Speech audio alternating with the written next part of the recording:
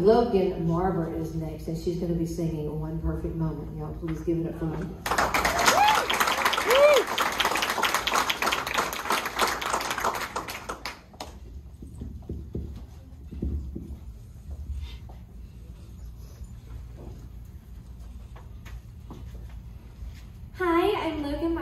I'll be singing One Perfect Moment from Bring It On the Musical, and I'm 12 years old.